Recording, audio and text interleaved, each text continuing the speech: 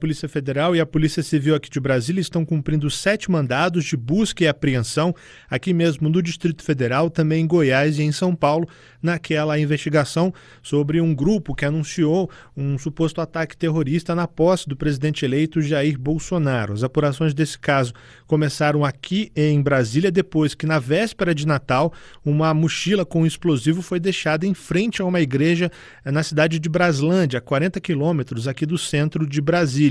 A Polícia Militar confirmou que de fato era uma bomba que estava na mochila, um artefato ah, explosivo com pólvora e pregos, e esse caso começou a ser apurado. Os policiais descobriram um site, um blog na internet em que um grupo que se diz terrorista confirma ser o responsável por essa bomba e faz ameaças ao presidente eleito Jair Bolsonaro. No blog que é chamado Maldição Ancestral, esse grupo se diz terrorista, critica o presidente eleito, diz que se a facada não foi suficiente para matar Bolsonaro, talvez ele venha a ter mais surpresas e que esse grupo possui armas e explosivos estocados para o dia 1 de janeiro. Então as apurações começaram com a Polícia Civil aqui de Brasília, foram repassadas à Polícia Federal e hoje temos essa operação. São sete mandados de busca e apreensão no Distrito Federal, Goiás, em São Paulo. As investigações estão em segredo de justiça, a gente não tem ainda muitos detalhes, mas as primeiras informações são de que essa apuração visa ali é, estudar o crime de associação criminosa. A investigação visa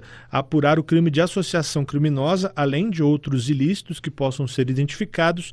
E as informações da Polícia Civil aqui de Brasília são de que não estão descartadas novas medidas a qualquer momento. A segurança aqui na capital federal está toda reforçada para a posse que vai ser realizada amanhã. Então a Polícia Civil também não está descartando outras ações ainda até o fim do dia ou até mesmo amanhã.